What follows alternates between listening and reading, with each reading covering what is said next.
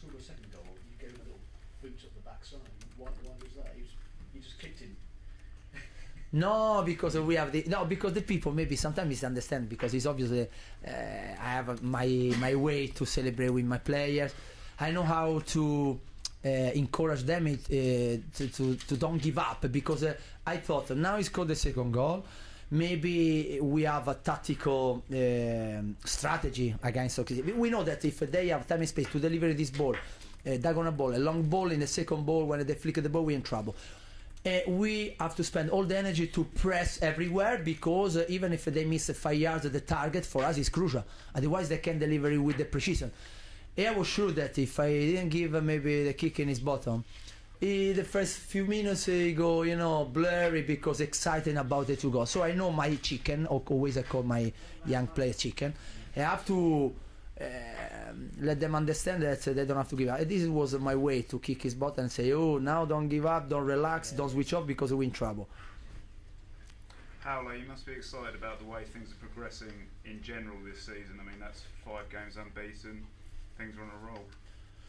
Yeah, I can't uh, tell you. I don't want to exaggerate. Sometimes uh, people think uh, you, Paolo Di Canio, exaggerate because he wanted the the maximum. The ma- yeah, I wanted the maximum. It's obvious that uh, what we achieve straight away this year to compare with uh, the start of the last season uh, is something amazing because a new league, different level. We we we won against Brighton 3 0 at home.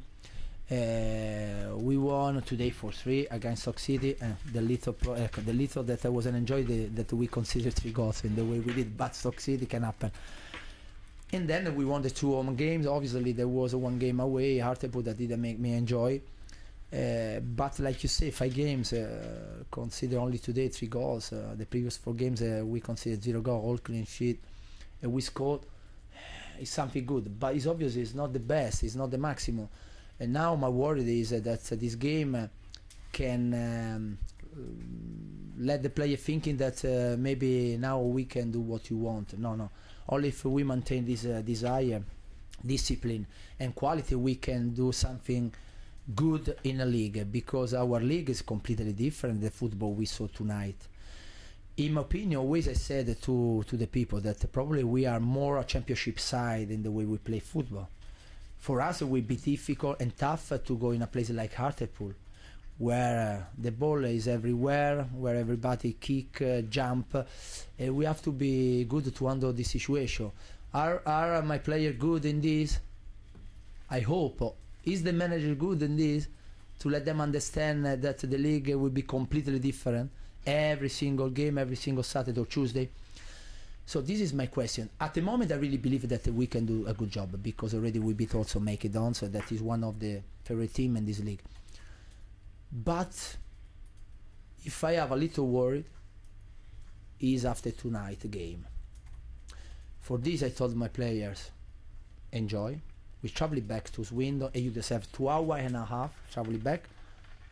Smile have a fun I can't do this because uh, from now I'm thinking about Preston because I'm the general you are the soldier that go in a battle and normally the battle in a, no, in a Roman Empire used to the general used to celebrate for one minute think of the next battle the, the soldier they deserve the night celebrate I don't tell them to go out and drink wine but celebrate in terms of have fun, enjoy.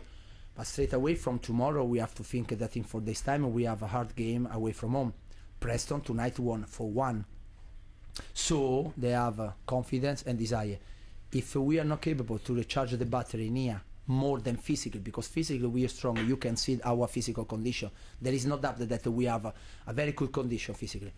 If we are not good in here, we are in real trouble. So this is only my worry. But this year I have more confidence that we don't lose this because with Tommy Miller, Navarro, experienced footballer with knowledge, there is less risk. Last year I had a group of very young fellas. It was difficult to let them understand this.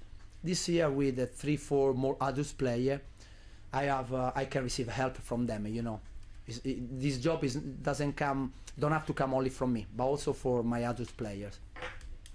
That's two Premier League teams you've beaten this year, uh, including Wigan. Yeah, uh, in 15 months, uh, to be honest, if we're talking about uh, a little tournament of the, the, the, teams that we beat, at the moment they were one league, two league, three league above of us. We have one lose against Leicester, where we played anyway very well, a good football. And we have Colchester, Bristol City away, Wigan at home, uh, tonight Stoke City, and then we bought, uh, uh, we we won against Huddersfield at home when we were in League Two. So in seven games, six win, we were at the at the top against the side uh, better than us. It's not an accident. Even if it's another season, a new season, different. But in 15 months, my team, the base is uh, same than last year. We brought in another four, five players, six in total. But tonight we had on the field only four of them. That is not anymore an accident because one time a giant kill uh, can happen for accident.